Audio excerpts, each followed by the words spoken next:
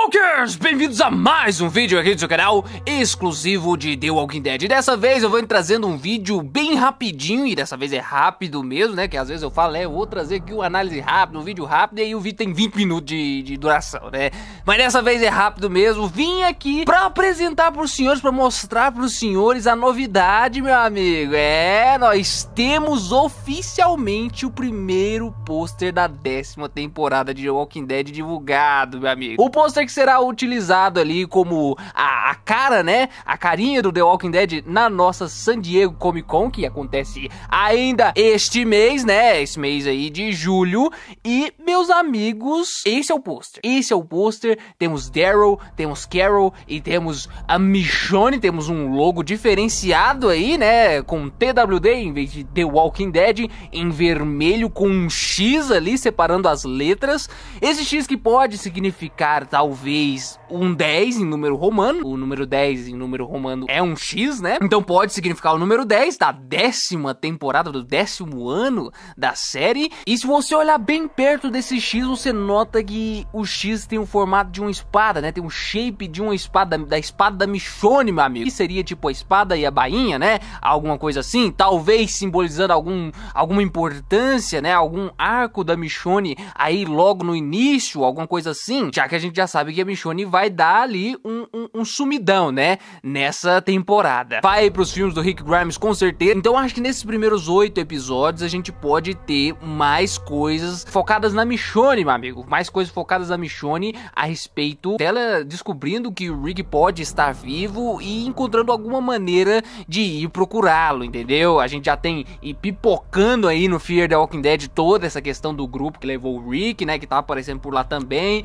A gente teve o episódio 5 esse fim de semana aí, que já mostrou muita coisa sobre eles, né? Sobre aquele grupo, sobre o quão sigilosos eles são e sobre a grandiosidade do grupo, né? O quão poderosos eles são, né? Então o Fear já tá apresentando bastante aí essa ideia. A gente também teve um pôster é, dedicado pro Fear, porque vai ter um painel do Fear The Walking Dead na San Diego Comic Con. No mesmo dia que rolar o painel do The Walking Dead, vai rolar o painel do Fear The Walking Dead também. E aí saiu esse pôster também do Fear, né? Bacana e ao mesmo tempo engraçado, né? Que mostra a Alicia dando essa sarrada no ar aqui. Olha isso, que isso, meu amigo. Meio esquisito, mas bem legal também.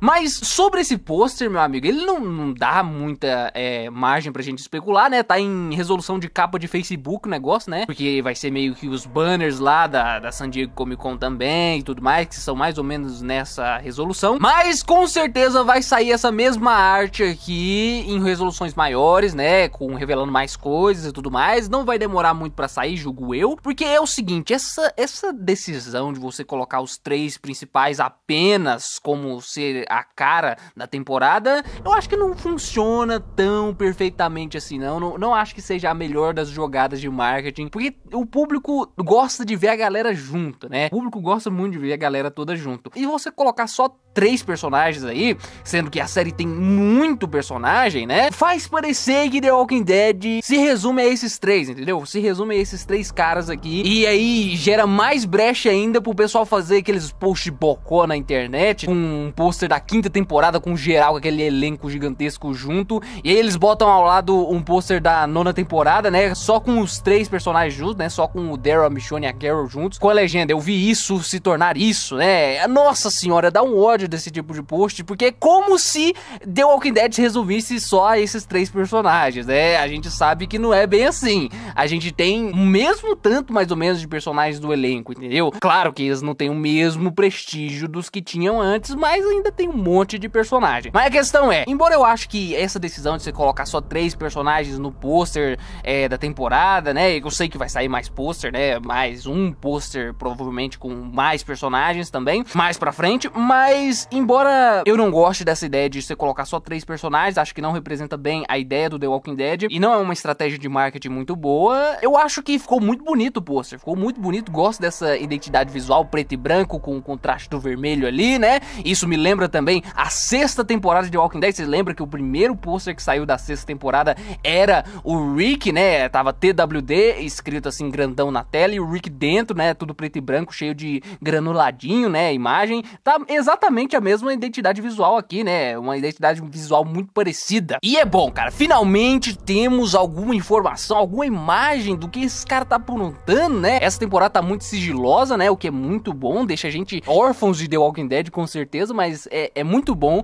eles estarem deixando tudo mais sigiloso, né? Preparando o negócio e não deixando vazar muita coisa. Isso é muito bom, muito bom. Que a gente vai ir pra, pra essa temporada meio que no escuro, né? Meio que no, sem, sem saber muita coisa. E lembrando que o, trailer dessa temporada sai na Comic Con também, né? Lá pro dia 19 ou 20, tá saindo aí o trailer de The Walking Dead, né? Dia 19, pra ser mais exato. Tá saindo o trailer oficial da décima temporada. Vai ter vídeo, a gente fazendo a prévia do negócio, né? O que esperar desse trailer. E bom, um bom pôster, né? Um pôster bacana, mas não supera o do ano passado, né? O do ano passado com o Rick, assim, o helicóptero no fundo, né? Os personagens principais ali, com a Meg, o Rick, o Daryl, a Michonne e a Carol. Era um pôster muito mais bonito, muito mais bacana, muito mais grandioso, podemos dizer assim, muito mais inteligente, muito mais interessante. Não dá nem para comparar com esse aqui, né? Esse aqui tá, tá, bem abaixo, né? Até porque, né, tinha Rick, né? Aqui Daryl não, não segura no mesmo tanto que o Rick, né? Vamos concordar aqui. Mas é um ótimo pôster sim, já deu para dar aquela empolgada e, né, alguma informação, finalmente alguma informação. Espero que saia mais coisas.